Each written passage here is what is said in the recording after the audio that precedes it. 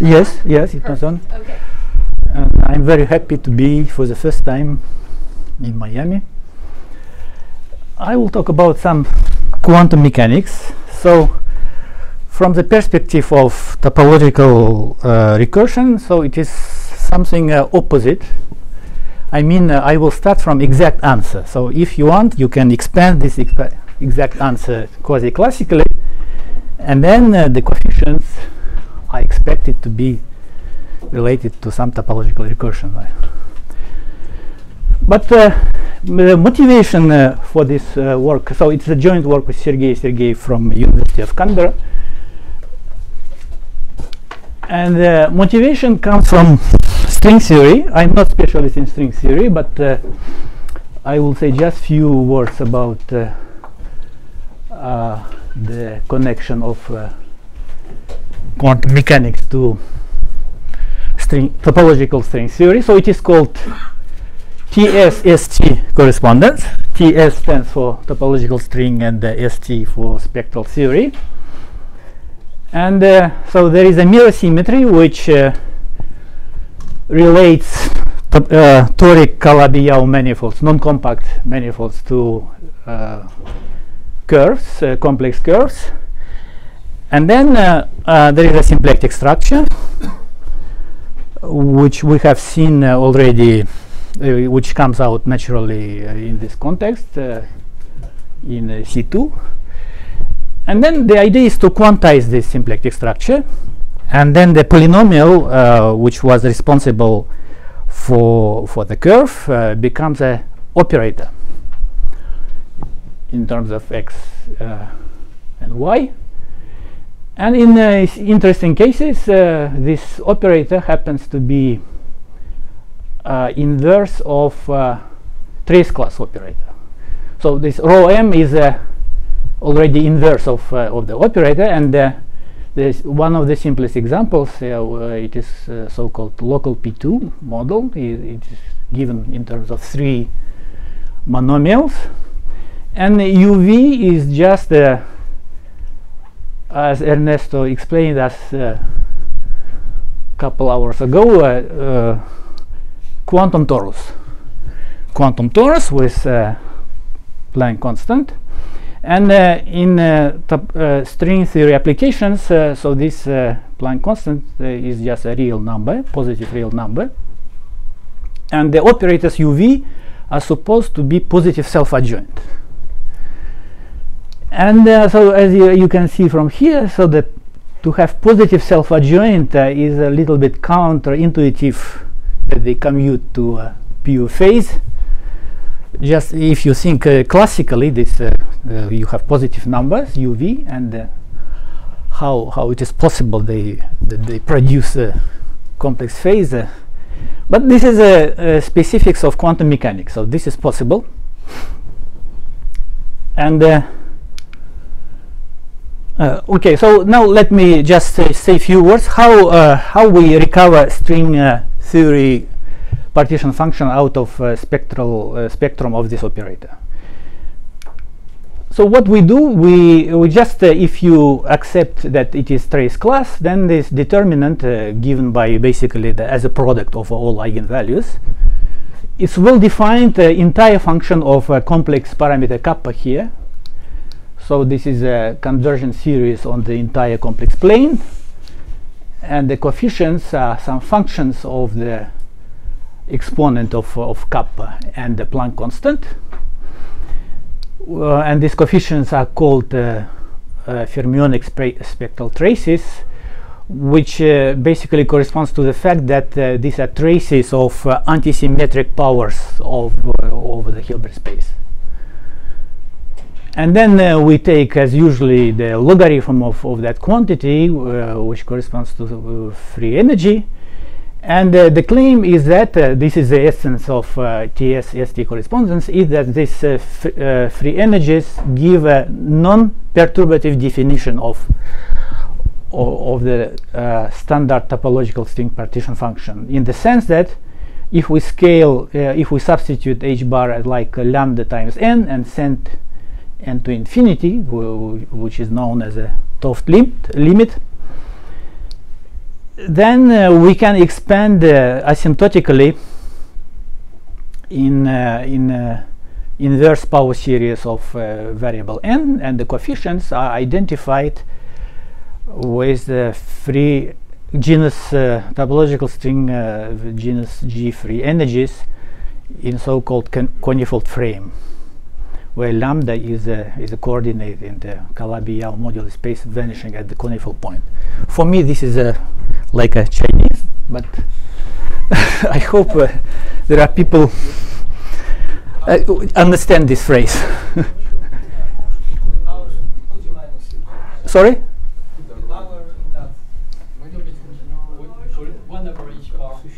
Yeah, so h bar goes to infinity here. That's important. This is not quasi-classical. This is ultra quantum. And uh, yeah. So okay, so here is uh, uh, stops my motivation. Uh, I will then uh, talk about just uh, down to earth uh, spectral problem of that for that operator. Okay, are there questions uh, up to this moment? just wondered if people know that in this setting here, the FGs will be FG0 from topological recursion. Yeah, that's uh, that's a ST uh, TSST uh, correspondence claims. So- yeah, So it's so known that these. these are are just yes, yeah, in the with no punctures. Yes. Okay. Okay, now uh, my my goal now is to understand uh, uh, as much as possible about the spectrum of this row row of M. Uh, namely, I'm uh, going to try to solve that uh, problem just uh, to find eigenvectors and eigenvalues. That's a goal. And uh, uh, through this uh, correspondence, so we will be doing some topological string theory indirectly in uh, in uh, for P2 local P2 Calabi-Yau manifold. So how this looks like now? I'm going uh, to uh, be more uh, uh, specific about the realization of the, those UV. Remember that uh, we had a UV uh, algebra here, which positive self-adjoint. Now I'm going to realize them in explicit way through Heisenberg position and momentum operators. And then the, the, the, the uh, complex phase factor, which uh, was present in the uh, in the previous uh, form of H, is absorbed by by Baker Campbell Hausdorff formula. Now you you clearly see that uh, this is a sum of three uh, positive self-adjoint operators, and uh, this implies that the sum is uh, self-adjoint as well. So we can uh, now ask uh, uh, what is the spectrum for that. And one approach is just to expand in power series of B. So the normalization of the position momentum uh, is uh, standard, which does not depend on any uh, Planck constant. And, and so the, we have a family of uh, Hamiltonians indexed by B. And the uh, first thing we can uh, try to do is to expand in power series. So the first term will be 3, coming from 3 exponentials. Then the linear term in B will go away because of, of the arrangements of uh, signs uh, in the exponents.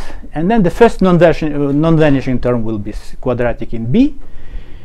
And you can uh, just uh, identify it with a standard harmonic oscillator Hamiltonian, even with one half, where the uh, annihilation operator x, A, is a complex combination of x and p. And those normalizations are just uh, to, to ensure that uh, we have a standard uh, creation annihilation algebra. And, uh, and this is this point is uh, is a, key a key feature of this Hamiltonian. You can start doing perturbation theory around a given eigenvalue of the harmonic oscillator, and then uh, you will just uh, see that uh, the, you get a recursion procedure where you can calculate the coefficients uh, one by one just by starting. So it is not doesn't fit quite well. uh, I don't know what. Can pull, pull can it pull, pull, further. pull, pull, pull a little bit. Pull The, the, the screen. Ah, oh, screen. Okay, Mechanical. exactly. Yeah. So uh, a- as you see uh, from uh, from here, so the it starts from three, then zero, then we fi- uh, pick up an, a positive integer from harmonic oscillator, and then we we can go on, and there will be infinite series. And uh, we don't have too much uh, uh, what uh, what its conversion properties. Uh, probably it uh, converges because we are doing some perturbation theory for discrete spectrum. In quantum mechanics, we know that it, it should converge.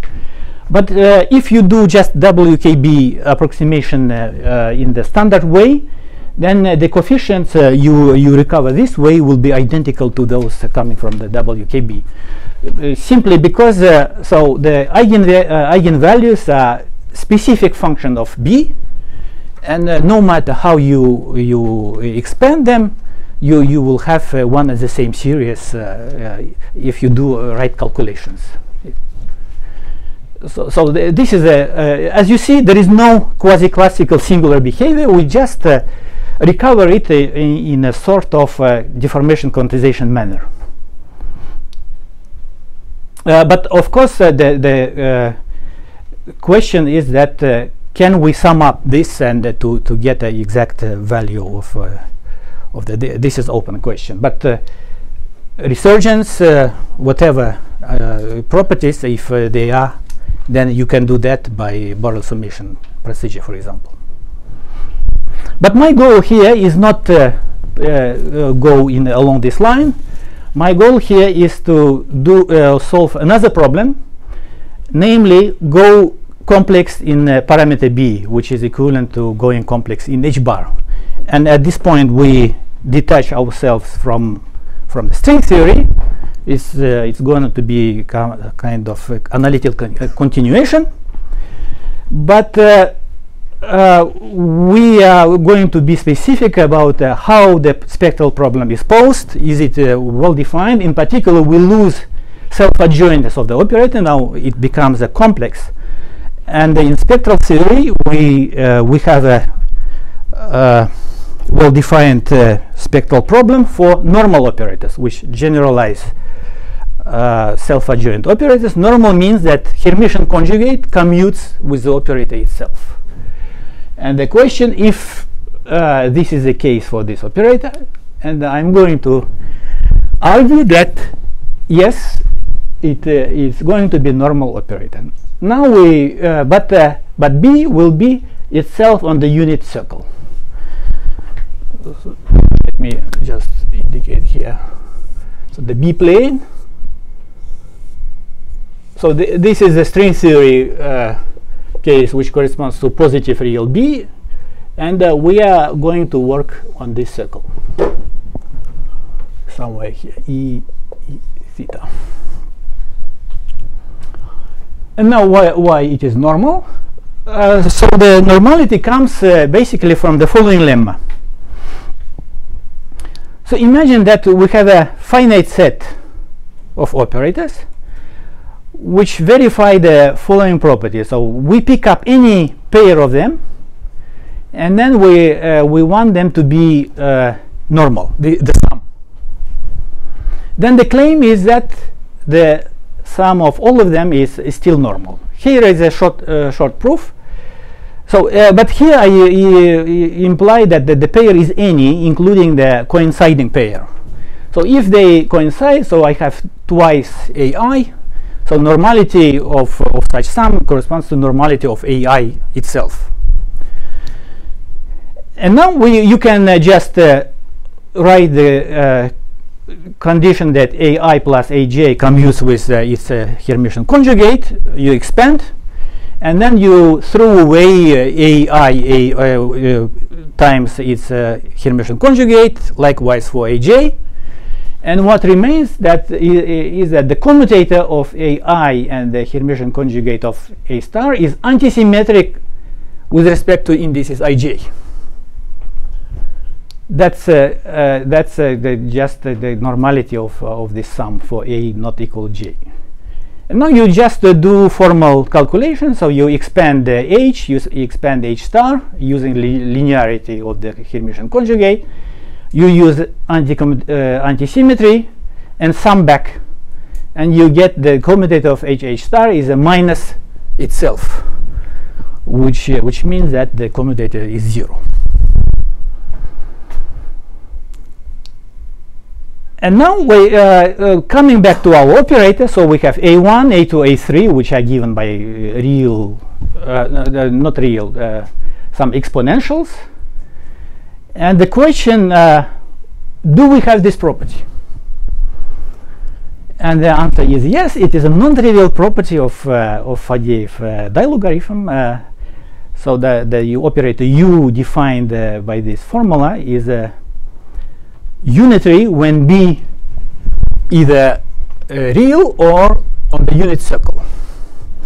And uh, let me be uh, let me explain uh, uh, this property. So basically, if you know nothing about Faddeev dilog, just try to solve the spectral problem for the sum of a1 and a2, and uh, you will necessarily end up with a certain conjugation unitary operator which uh, will be related uh, up to uh, operator commuting with a position operator with a quantum dilog. Let me let me just explain you how it works. Oh. so remember that phi b of x minus ib half divided by phi b of x plus ib half is uh, this exponential. So Stavros wrote uh, already the, uh, this uh, functional equation, and I just uh, I re uh, remind you that phi b complex conjugate is the inverse of phi b of x, provided that imaginary part of b times absolute value of b minus 1 is 0. So by, by this I describe this line and uh, this circle. So if. So we have this uh, property and, uh, and then uh, just uh, let us try to see what is A1, A2, which is E2 pi B uh, P. So I put hat here to indicate that these are operators. And now let me pull out this uh, exponential of position operator, but in symmetric fashion to avoid any phase factor corrections. So we have just operator identity like this, p minus x. So you would agree with this identity if everything would be commutative, but uh, it is still true uh, when uh, when these are non-commutative objects because uh, uh, due to symmetric uh, factorization, we, we avoid getting any um, correction factors. And then we can replace this exponential by, by this ratio. And uh, I uh, I'm going to do it uh, this way. So I put the numerator close to, to this exponential. And the rest I just interpret as a Hermitian conjugate of that. So if you make a Hermitian conjugate of that, so this phi, uh, let me put uh, more generally, if you put uh, complex argument, then uh, it gets into denominator with the argument. Actually, it's not x because it should be p hat minus x hat. Yes, yes, thank you. So p hat minus x. So it uh, this is a self-adjoint combination, so it behaves like a real number. But you conjugate uh, when you complex conjugate, you have to switch this minus to plus, which will give this uh, this denominator. And then what you do next, you uh, push this exponential to the other side of phi, and using the Campbell Baker-Campbell-Hausdorff you just remove this uh, complex shift. So this becomes a phi b of uh, p minus x e pi bx hat Hermitian conjugate. And uh, basically, you, we arrive uh, we, uh, we arrive this uh, to this formula. And uh, this is one of the powers of, of this remarkable spatial functions, which solves the spectral problem for such operator just in, in two lines. And given this identity, we immediately see that this sum is a normal operator because uh, it's a Hermitian conjugate uh, uh, commutes with itself as a function of one and the same operator x. Likewise, you can treat any other pair because they are uh, related, say, uh, by some Fourier transformation operator and then some shift operator, which all are unitary. So this uh, ensures that uh, our operator is uh, normal, and now you we can uh, turn to spectral problem.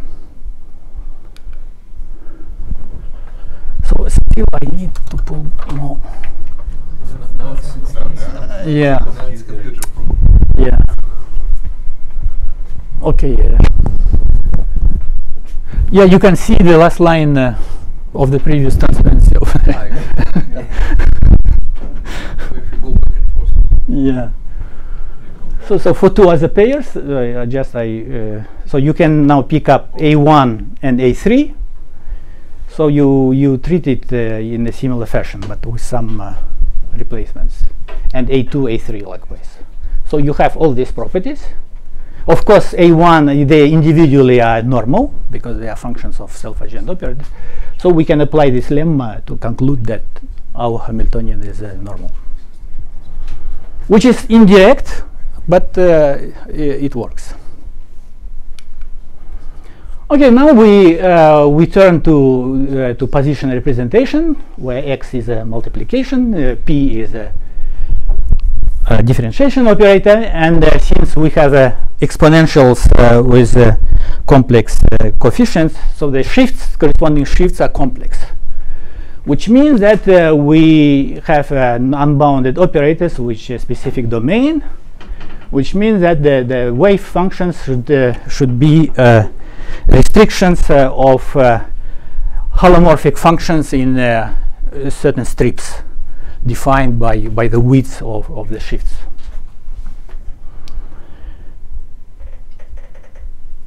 We have two operators, H, H star, and we have two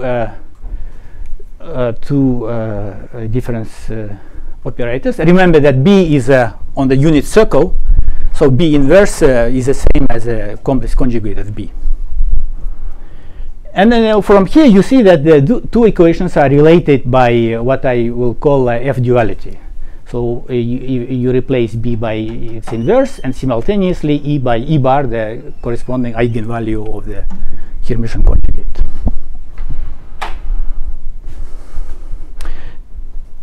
Okay, so here the reference. So the the general approach to such kind of problems was uh, uh, suggested uh, already a long time ago by Sergei Sergeev, uh, but uh, not with much details. So basically, how we started collaborating with Sergei, simply because the people were complaining that they don't understand his papers. and uh, and so we together started uh, refining uh, what uh, he means by by his general technique and uh, uh, I will try to explain you how how it specifies to to this particular example.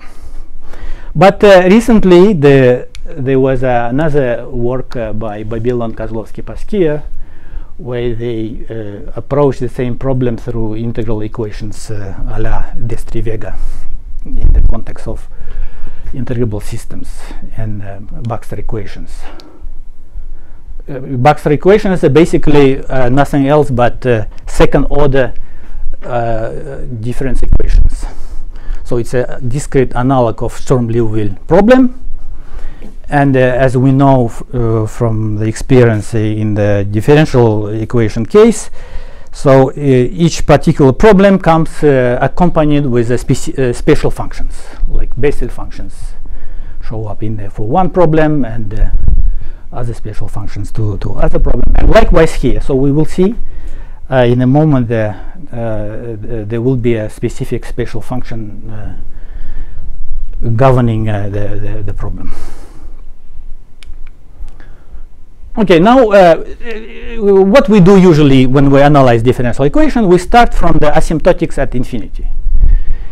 And uh, here you, you can see that uh, if we send x to, for example, plus infinity, this exponential becomes, uh, remember that b is, is here, so its a real part uh, is positive. So this exponential go goes to zero, so we can uh, neglect this term and uh, so the equation becomes basically the first order difference equation and uh, we can uh, solve it in that asymptotic region and so on and so forth. And the result is that so psi uh, when x goes to plus infinity behaves uh, like this. So as you see it uh, it decays. So the theta is the same as which defines b so uh, cosine theta is positive, x is a large uh, positive, so this is a decaying exponential, and this is a pure phase. And we have two options uh, for k, which is uh, either 1 or 2. So we have uh, two possible uh, asymptotic behaviors. both of them are legitimate. They are dec exponential decaying, so they, our wave function can can be linear combination of, of both such uh, uh, asymptotic uh, functions. And of course, uh, when uh, when we uh, since we are trying to solve the exact problem, so we are looking for for exact solutions by factoring out this asymptotic the exponentials, and then the coefficients will be should go to finite value when x uh, goes to plus infinity. So we substitute, uh, we factor out uh, elementary functions, and uh, we end up at the equivalent form uh, of the equation for function phi k. And uh, k still takes either one or two values, so epsilon k some linear multiple of b and uh, we uh, we complement this equation with a uh, with a boundary condition that uh, phi k of x goes to one at uh, when x goes to plus infinity. And of course, we have a second equation uh, obtained by inverting b and replacing e by e bar, which is a f dual partner of that equation. And now we so we can uh, uh, uh, serve uh, two equations simultaneously by using so you see the coefficients depend only on the exponential uh, exponentials of x uh, with some parameters b. So it's natural to look for phi k of x as a, a, power series in those exponentials. And for the dual sector we should invert b. And so the ansatz is, is to try uh, the product of two unknown functions uh, which are supposed to be power series chi k of one exponential times chi k bar of another exponential. Uh, here we are going to use this uh, q variable in the in the SQL, and uh, then uh, we end up constructing two power series solutions, which are denoted phi sub qe uh,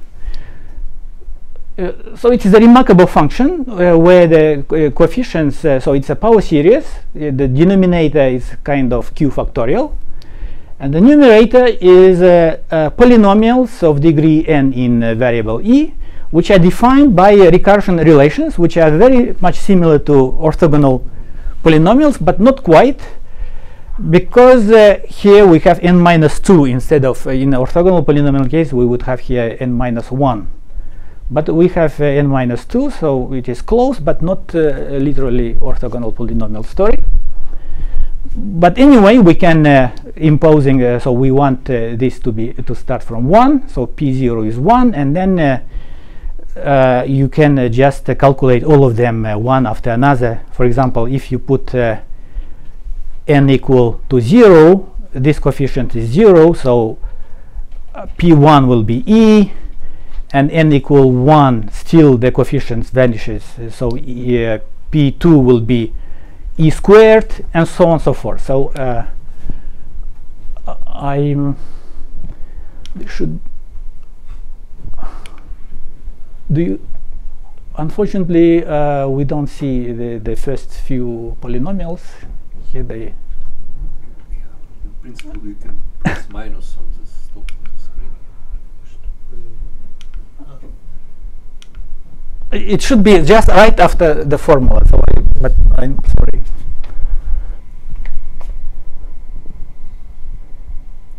Presumably we can move here right? So i don't know. Okay never mind. So you just uh, uh, uh, look at the recursion relation. It's uh, uh, pretty easy to calculate uh, one after another and uh, here you can see uh, the asymptotics of those uh, polynomials when n goes to infinity. They uh, behave uh, in an exponential way. And in particular, you see that the, the radius of convergence of one series when uh, we have q and e is infinity, while if you change to 1 over q the, with the same q, then I, I mean, remember that this q is inside the unit disk, complex unit disk. So 1 over q will be outside the unit disk. And uh, you have only either the radius in infinity when q is inside the unit disk or 0 uh, if it is uh, if you are outside of the unit disk. So the uh, among two functions, one is uh, is no way well defined. I mean, uh, it's a just formal power series with which never converges, and we need both of them because. Uh, uh, so look uh, here. So uh, chi of z. So uh, it's okay. Here uh, k is positive. Uh, uh, no. So if k is 1, you see that q minus 1, its radius con of convergence is 0. If k is 2, is phi sub q, which is uh, infinite radius of convergence. And for k bar is the opposite. So because we remember that q is, is this guy, so we uh, f duality means that we should change the b to b inverse. But here we have uh, extra i, so the, to take in the, into account this, we, we have to put minus 1 here. So that means that uh, if this is convergent, then this is divergent, and uh, vice versa. So the two factors are uh, uh, defined in complementary way. And this is the first problem we encounter. We have to do something about this. Probably resurgence is a way of to handle this, to, but uh, I will explain another way of, uh, of uh, handling the, the problem. And here is some auxiliary preparatory work. So we define three vector spaces. So the ambient vector space, just the holomorphic uh, functions on the punctured complex plane. We remove, so the, the uh, origin corresponds to one infinity in the for the uh, spectral problem, and uh, uh, so the plus infinity is, a, is another infinity. So we, we are on the punctured space, and then we define a, a vector space of uh, solutions of uh, some linear problems, homogeneous linear problems. And uh, uh, so the goal is to try to understand fully those vector spaces, in particular their dimensions. But one uh, family of vector spaces is very simple. So these are solutions of first order uh, equations like this, and these are just level m theta functions. Because remember that q is inside unit disk, or p here. Uh, for, for us, p will be q in, in those applications. So these are just theta functions. And uh, here is a lemma, unfortunately, just a piece of it. Uh, so if p power m is le uh, less than 1, then uh, dimension is just the theta functions of power uh, of absolute value m. Then second vector space is just one dimensional. If we put uh, p to be equal q and alpha e uh, are just arbitrary. And uh, so I don't. So So FQE, this is a first vector space. So it is three-dimensional, the space of uh, solutions. This three dimensionals. and V is uh, one-dimensional. And uh, there is some multiplication. So you see piece of, uh, so this is V, this one-dimensional vector space. You multiply by some theta functions of order one, and you end up uh, in, with an element in, in this space. So there, so there is some uh, connections between uh, those vector spaces. And, and uh, here is uh, I just give a proof of part 2 which is the mo most non-trivial part so that the dimension of V is, uh, is 1. And uh, this follows from the fact that uh, we, uh, we are able to relate this space to a certain space of theta functions where we know how to calculate the dimension. And the relation comes in the following way. So we define an operator which associates to any holomorphic function on uh, on the punctured complex plane. Another function with the same domain uh, given by in this way. So what is so we multiply f by certain function psi q e defined in terms of our polynomials but uh, corrected uh, uh, with some uh, quadratic q to the power quadratic form in q and it's radius of convergence is still infinite. So because we divide by half of, uh, of, the, uh, of the quadratic form. The, there is some uh, symmetry property. As you see, you can invert Q uh, at the expense of changing the sign of Z. And then we multiply uh, with our function f to define the map and take the even part so even part uh, uh, means that uh, we uh, live only with uh, even powers of the argument, so we can uh, replace the argument by square root because it will not show up, and then that's a map. That's a map, and then we so if now we pick up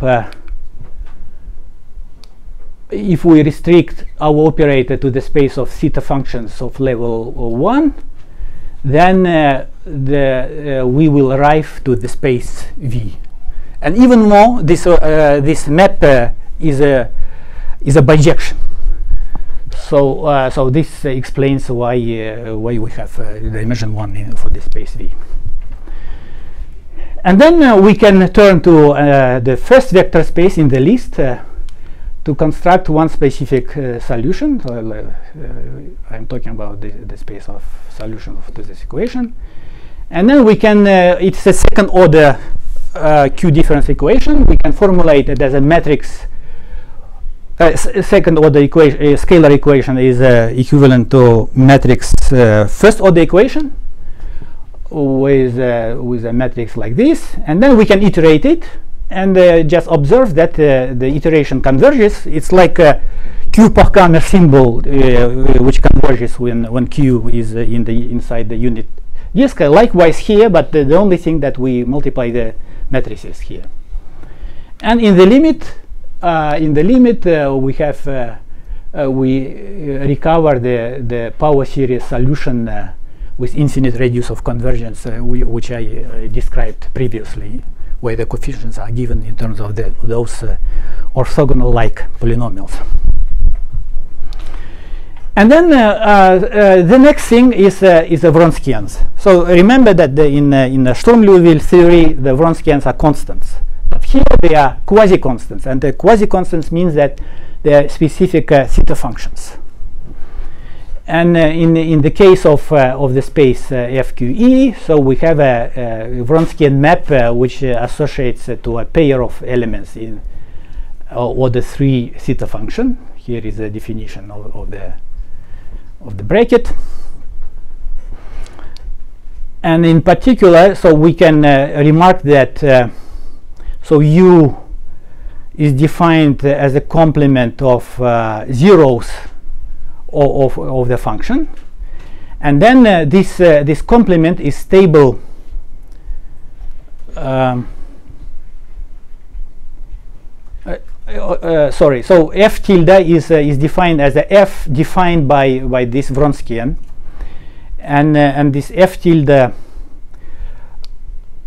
solves the same equation as as this formal power series solves with with with zero uh, zero uh, radius of convergence. And now you see that uh, this time we we are not anymore in the in the vector space of uh, analytic functions in the punctured plane, we got a bunch of uh, zeros coming from the uh, lattice of zeros coming from uh, poles, sorry, uh, but, but zeros in the denominator, so they become poles of this function.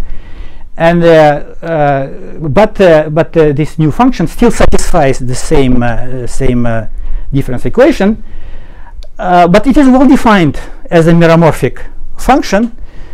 But on the other hand, if you try to expand it uh, uh, around zero, so you you can uh, hope only for formal power series wi- wi- without convergence, because we know that there, there are no convergent power series solutions.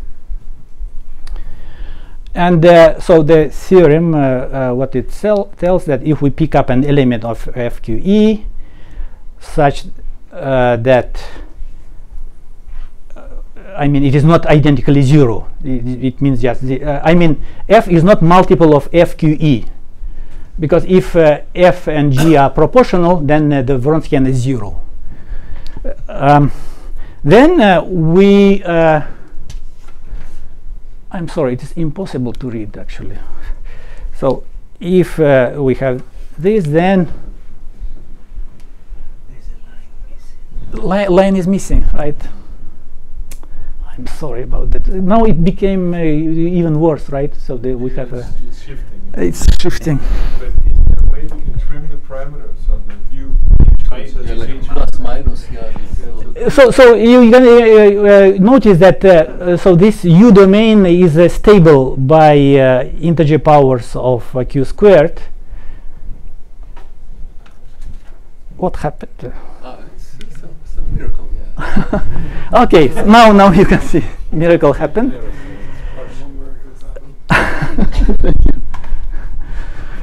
Uh, so now. Yeah what uh, what it tells that so you see that uh, uh, it is stable this domain is stable by uh, even powers of You're scrolling here. Yes. Okay. Oh. Thank you and uh, even more if you stay within this u domain then uh, you you can send n in to infinity so remember that q inside the unit disk so you squeeze uh, you, you you send the argument to zero basically and it is one despite the fact that uh, f. Tilde is not expandable in uh, in power series. So which means that asymptotically it uh, it goes to one almost everywhere but you should be careful you should uh, avoid some discrete set of zeros of of f. Tilde and as a result, so if you pick, you are able to pick up the first non-vanishing term, then you can go on and uh, just uh, keep expanding, and you recover necessarily the same formal power series as we we obtained uh, from uh, solving uh, solving the the same equation. So that means that this f tilde is a substitute for this formal non di- uh, convergent power series, which is a meromorphic, uh, well-defined meromorphic function, but only admits a, asymptotic expansion uh, around the zero. So that that's that's the essence of, of this theorem. And what we are going to do in the sequel, so we are going to use uh, instead of chi bar, which uh, in in case of necessity, by by this uh, corrected uh, meromorphic uh, solution of our equation.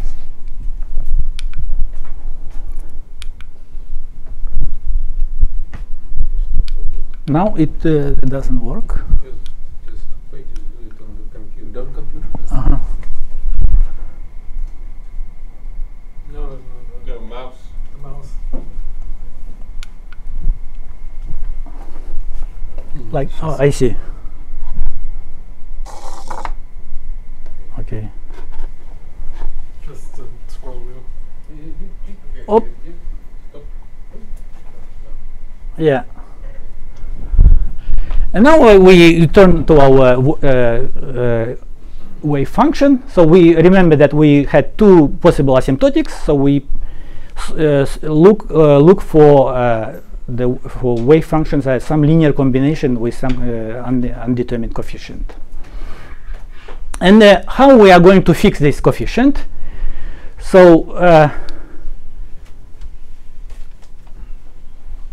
so this uh, this controls the asymptotics, and uh, so this is a everywhere convergent power series, while this h tilde is uh, is some element which is different from from this holomorphic solution.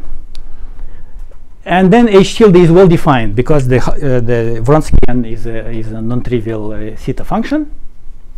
So we we pick up uh, it uh, as a substitute for the divergent power series and for psi 2 the is opposite so the for for b sector we we have a convergent series uh, for the dual sector we have a tilde for some other element and now we impose uh, two basic requirements uh, uh, to uh, for this function to be well defined. So first requ- requirement is that these two functions have a common set of poles.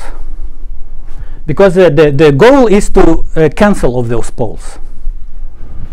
And uh, so we, the only hope we can cancel them if they are common for, for two terms and uh, then uh, uh, we we just adjust uh, the coefficient psi the, the way that uh, the, the linear combination has a same uh, the, uh, zero in the in the numerator which cancels these are theta functions defined in the standard way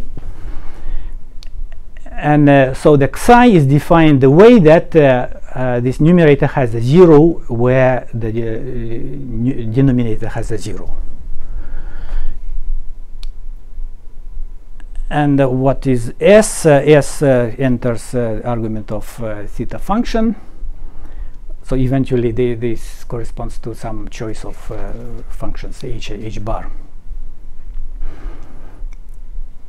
F is what was F?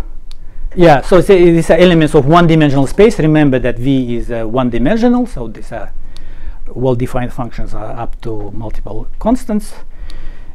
And so we parameterize these uh, variables in terms of new variables sigma, which are common to two sectors, B, B inverse.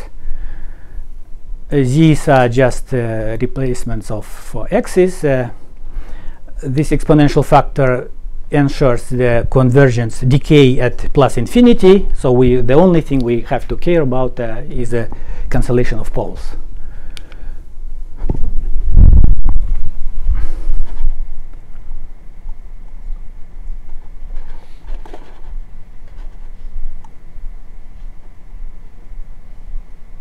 Yeah, and then this is the final transparency where we fix uh, the coefficient psi. So it's uh, it is chosen. Uh, this is the condition of having uh, zero in the numerator when uh, when we specify the, the uh, zero in the denominator as a, a zero of a theta function. So psi becomes a function of all those variables. Theta is a b. Zeta is a arbitrary constant which parameterizes parameterize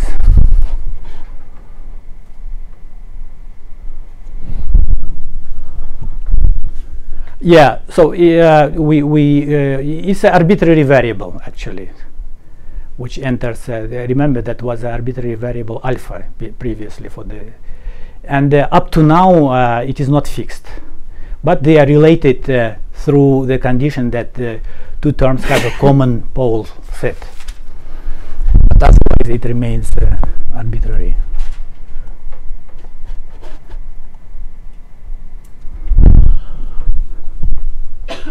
And uh, now the, the final theorem tells that the, so the all poles of psi uh, at x equal these are the zeros of the theta functions uh, on in the denominator. No, this may go with B.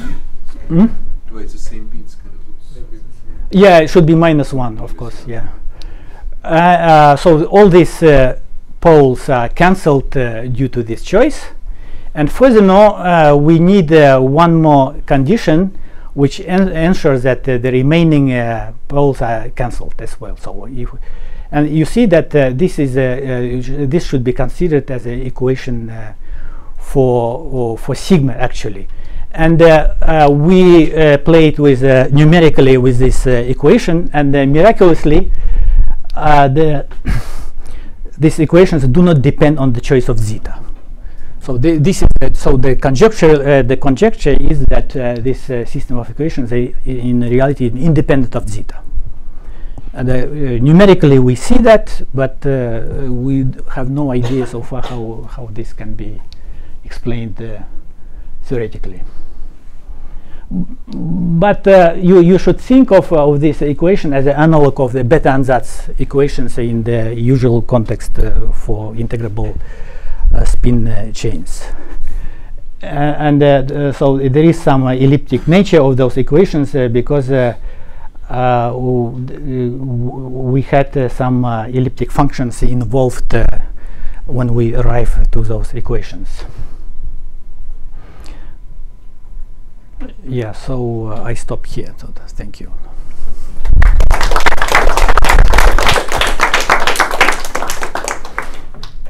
Any more questions? So do I understand correctly, you solve kind of two dual system of equations simultaneously in meromorphic functions? and Yes, yes. So yeah, yeah, I mean this F duality just ensures that uh, this uh, wave function solves simultaneously those two equations because we maintain the symmetry all the way. But uh, we have no idea how this, uh, in principle, this should uh, this solution uh, should approach smoothly to the real axis when we go to. But uh, this is some uh, hidden phenomenon like uh, like in the Faddeev functions. Uh, we, we have a ratio of two infinite products, but for real B uh, they don't make sense anymore individually, but the ratio is still well defined. So for those solutions, uh, similar phenomena should uh, should be valid.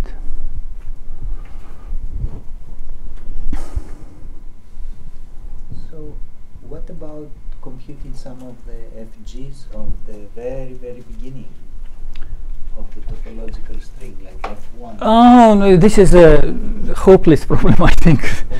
Yeah, but uh, but uh, the fermionic traces they can be calculated without uh, using the spectral problem because uh, the integral kernel of, of that operator is uh, explicitly calculated in terms of Faddeev function, and then uh, the traces are given by finite dimensional integrals of uh, products of Faddeev functions. And uh, uh, Marcus uh, can, uh, Mariño knows to calculate those traces uh, uh, independently, and uh, there is an amazing coi- uh, coi- coincidence of the answers. Calculate these two different ways. But this is for real H bar, not, uh, not complex. No more questions? Let's thank Rina. Thank you.